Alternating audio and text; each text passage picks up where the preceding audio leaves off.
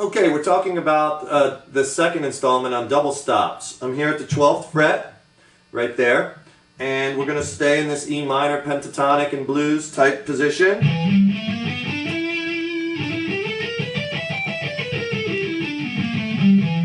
E minor pentatonic and blues shape at the 12th fret. And last time we talked about playing the double stops. Double stop meaning playing two notes simultaneously, and they're all over the place, certainly in these box shapes. You just take a finger and bar uh, two notes at the same time, you get some cool tones. Right? And that's what we talked about last lesson. Now we're going to take those and start bending them, doing a technique called double stop bends. So taking this double stop, right here where I'm playing a C sharp, and I'm also playing this A note together. Now we're going to bend that. See how I did that? Let me do that again. I have all three fingers flat on the fretboard because I like to bend with as many fingers as I can. And when you're doing double stops, it's nice if you could put all your fingers flat. And in pushing up, and I'm bending a half both notes. Both notes a half a step. I'm bending them both a half.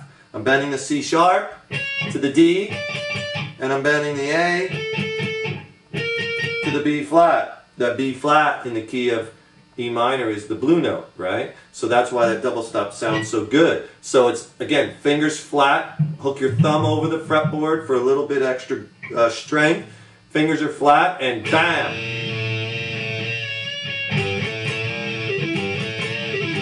Going back to this double stop. It's a nice mean, especially with some gain. Nice mean double stop and uh, uh, bend it up a couple times.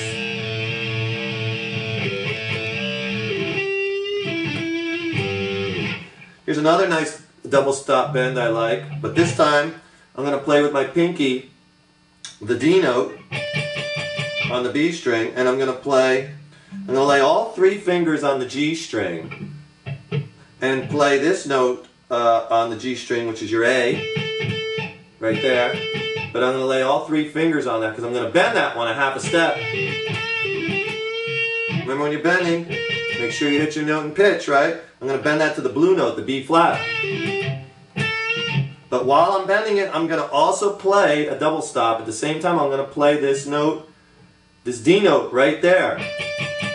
So I'm holding the D note with my pinky, but I'm going to bend the a note to the B flat, and you get a really mean sounding double stop. Sounds like this.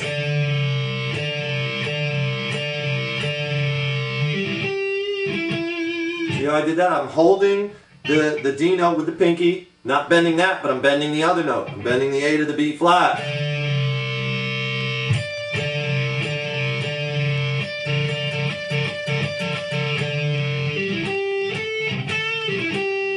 That's a really cool double stop bend. Now mix them all together with your other ones and I'll just play a second. You get, I'll just do a bunch of them. You get stuff sounds like this.